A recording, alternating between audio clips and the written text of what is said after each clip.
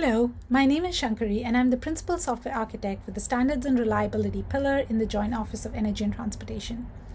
As you might have seen, the motto of the Joint Office is that we are building a future where everyone can ride and drive electric. In this presentation, I will talk about how we aim to use open source to achieve this goal. The federal government knows that in order to tackle transportation emissions, we all need to come together. The U.S. National Blueprint for Transportation Decarbonization outlines a joint plan from four federal agencies the Departments of Energy, Transportation, Housing, and the Environmental Protection Agency.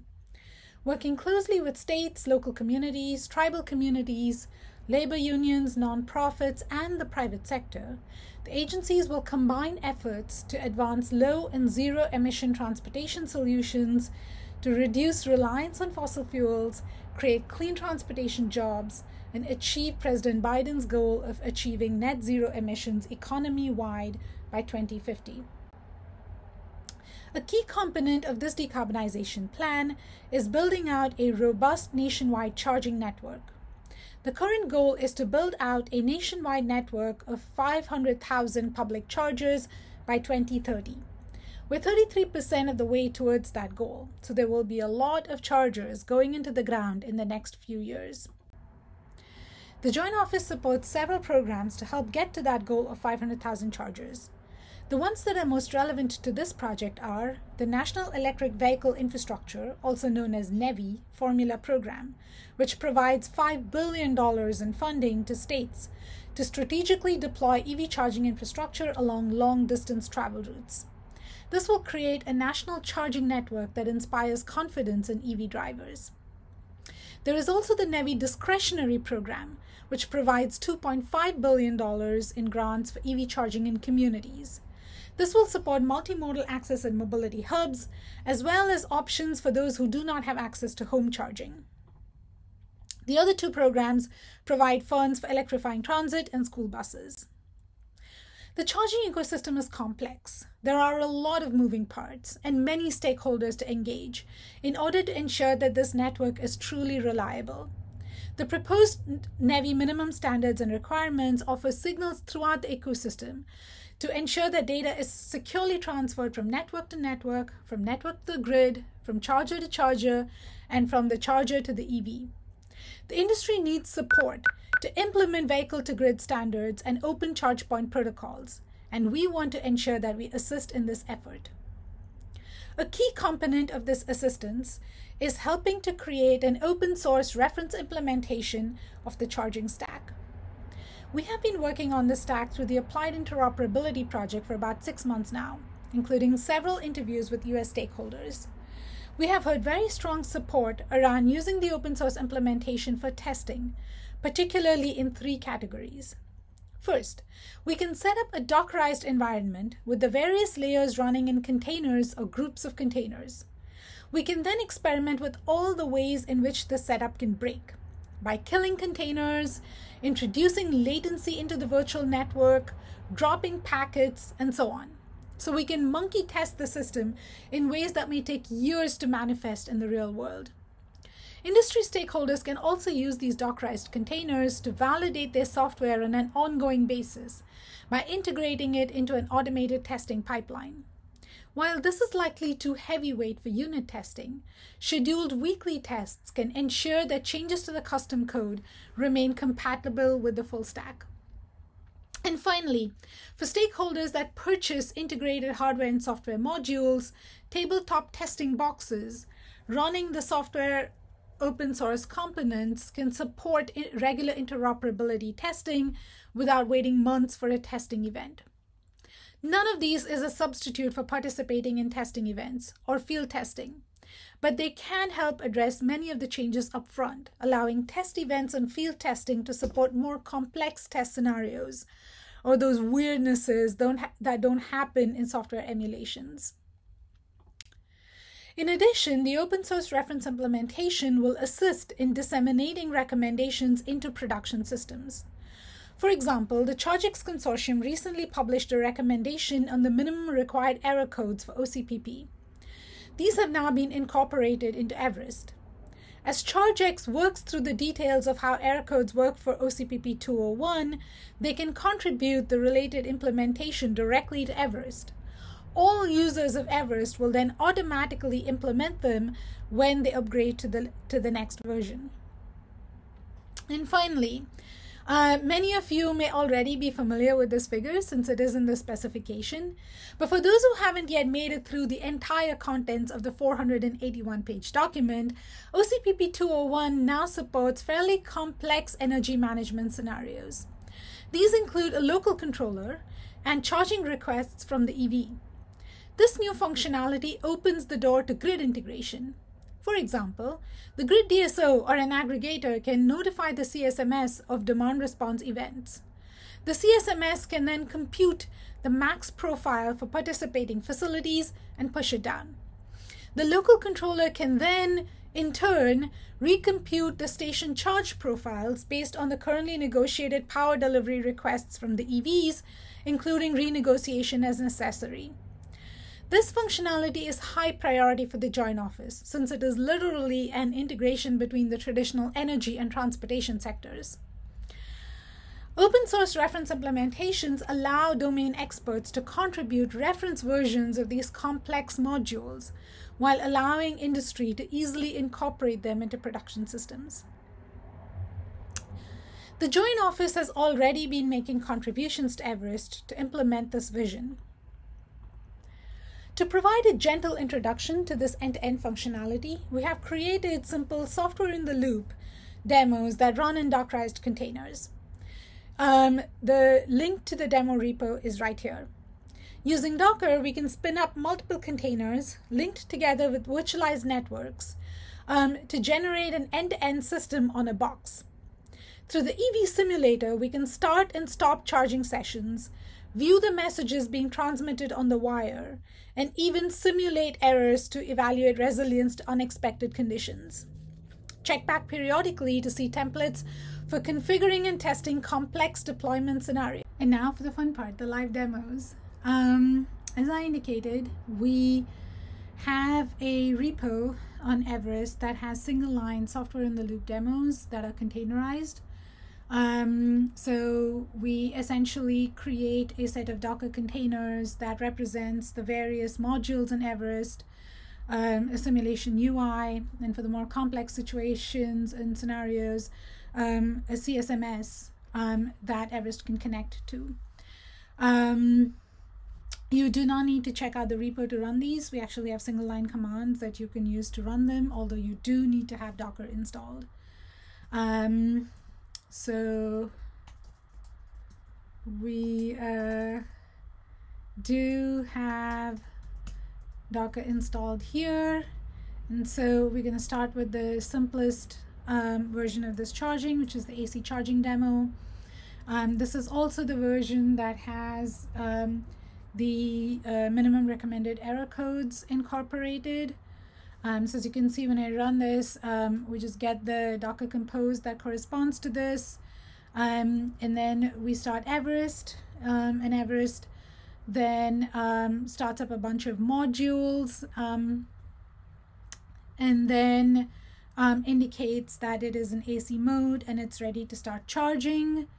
I can then open up the simulator UI and as you can see, um, there is a uh, car simulator and a set of um, error codes that essentially correspond to the minimum record recommended error codes from ChargeX.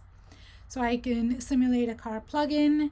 Um, this will go through the standard uh, plugin process. So there is a dummy token. Um, that is received and validated. Um, and then the car starts drawing power. Um, you can see there are several IEC messages that are related to this. Um, and then we can actually go in here and put in an error message. So for example, I can select um, MREC pilot fault um, and the car stops charging Um, and then when you unclick it, it starts charging again. And so you can simulate any of these errors and check the behavior of um, the charge station when the error occurs. Okay, so that's cool. Um, the second demo we're going to do is a slightly more complex version. So um, as you know from CFR 680, um, the goal is not just to have a recommendation for the connection between the car and the station, but also between the charge station and the CSMS. Um, so our next demo will actually um, set up all of those um, connections um, with encryption um, and contract certificate authentication um, and actually do a CFR 680 compliant charging session. Um, so uh, before I do that, I just want to highlight here the charger states changed from time to time and then finally we stopped charging and the um, EV was disconnected. The um, CFR 680 compliant charge sessions um, are the with security profile 3 um, so that there is certificate based authentication uh, between the um, just make sure that yeah uh, between the uh, station and the CSMS um, so the CSMS that we're using here is MaEVe, uh, which uh, is also presenting at this um, conference. Um, what this script does is it checks out MaEVe and then builds and runs it. So uh, the MaEVe containers are starting. Um, it also has a certificate bundle, which it has um, unzipped so that um, there's and the certificates have been copied into the right places so we can actually verify the certificate chain. These are currently self-signed certs because we don't want to check in anything that is specific to any particular PKI infrastructure. Um, although uh, we are considering adding in other certificate bundles so that with a command line option you can test against um, popular PKI infrastructure um, platforms. So um, we start the CSMS, we add a charge station with security profile 3. Um, and then um, we add one user token, which is the dead beef token, as a valid token. Um, and then we start Everest, just like we did before and the same uh, or similar certificate chain is in um, Everest as well. So you can see it's, you know, host docker internal, sub CA2, sub CA1, and then the root CA. Um, Everest then starts up and you can see that the messages here are slightly different because now um,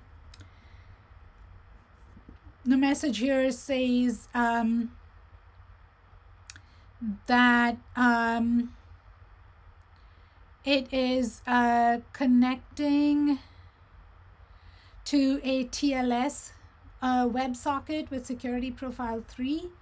Um, and you can see here that it's using OCPP 201. So, um, you know, we're, we are um, doing the right thing from a cybersecurity perspective. Um, and then I received the boot notification um, response. Um, the errors here are just because the OCSP status doesn't work because uh, we do not have a, a correct um, CA configured. Um, and at this point, um, just uh, pull up the Docker desktop. Um, you can see in the MaEVe logs um, that um, the CP001 um, was the charge point that was configured, and there are several calls coming into it. Um, and if you check the manager, um, you should be able to see the boot notification uh, message that came in. Um, quickly do a search. This the OCSP thing is just. Um, yeah, so you can see here that the boot notification message was received correctly um, and responded to. Okay, so now we're going to go back here, go back to our UI and actually try to start charging. Um, so I'm going to select the ISO 15118-2 plug and charge option from this drop down and then try to plug in the car. Um, and as you can see here, um, in the Everest logs, um, there is a, a, a SLAC um, matching uh, that that is successful.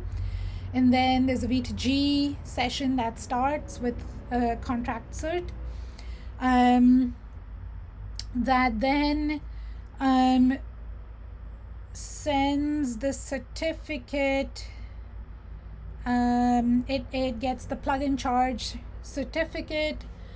Um, it's a payment uh, is through a contract certificate the session setup and, and so on happen properly. Um, this then sends that over to the CSMS, um, and the CSMS is able to validate it. Um, so the result for this token is that it is accepted. Um, and then the um, charge parameter discovery response is sent over and the charger state changes from charging to char uh, prepare charging to charging. And if you look at the state here now it is charging. And if you look at uh, the docker logs um, and you search for say dead beef oh no actually we shouldn't be searching for dead beef because I'm not.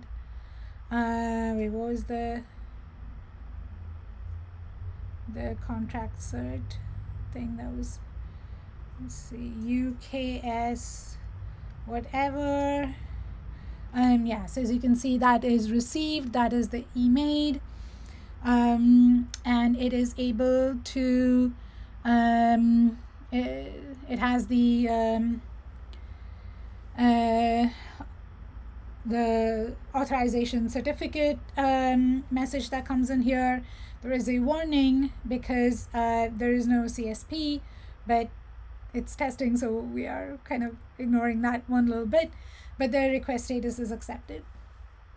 And so we have now um, used plug and charge to communicate between the station and the charger. The charger has sent the certificate with the CSMS. The CSMS has accepted it, um, and the charge session has started and all of these connections have occurred via TLS.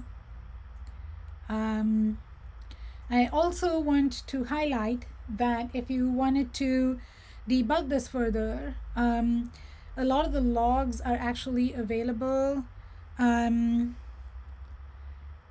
here. So um, if you go back and you look at the Everest um, files. Um, right at the beginning here, there's a message which says where the logging is happening. So the OCPP logs are being logged to temp or, Everest OCPP logs. So we can actually go in here and pull out a nicely formatted um, log of the messages that are sent. There's also Everest logs, um, which you can take a look at if you're interested. Um, I am just going to pull the um,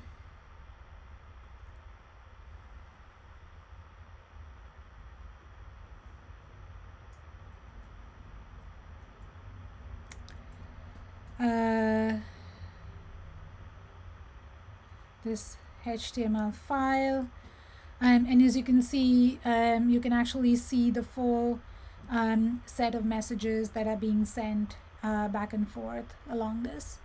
Um, if we ignore all of the certificate status responses um, and just look uh, for, say, a transaction event request and response, um, or you know, setting charging profiles, um, we should be able to see um,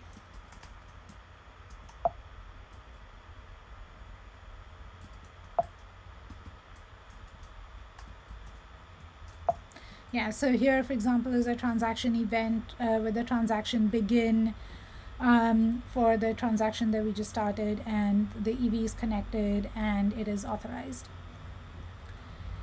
So um, hopefully that was cool uh, I'm now gonna shut this down just so it doesn't um, block the uh, cause problems with the next run. So we're just to delete all of these containers.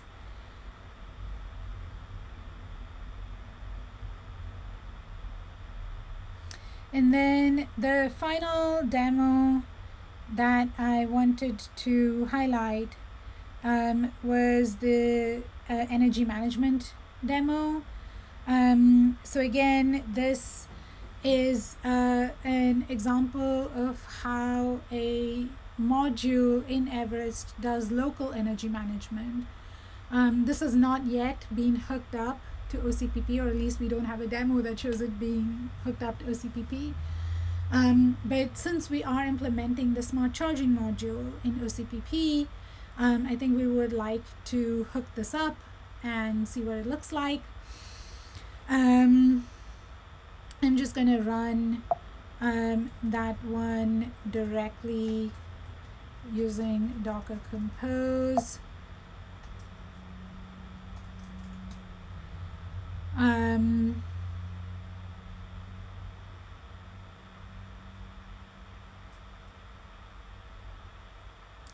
so again, if you come here, should be able to see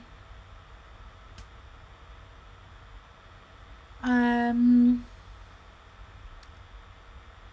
the uh, so there are now two uh, potential um, EVs that can be charging at the same time. Um, I'm going to plug one in and it's going to start charging. Um, and then I'm going to plug the other one in and it's going to start charging at roughly the same level. And then I'm going to actually change the maximum watts that were requested. Um, and you can see that because this did not request as much, um, this um, EV actually got a lot more um, uh, energy delivered to it. Um, if I put a limit on this as well, it's actually low enough that it goes below the limit. Um, and then here it starts charging again, but it's still lower. So you can basically, um, as the requests from the EVs change, the amount of power that is actually delivered across both of them also changes, which is really cool. And we really look forward to integrating this uh, with the OCPP smart charging um, functional groups.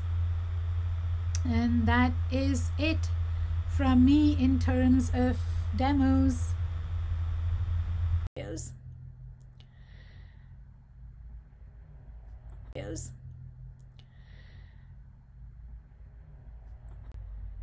The Joint Office has also begun contributing to the Everest codebase.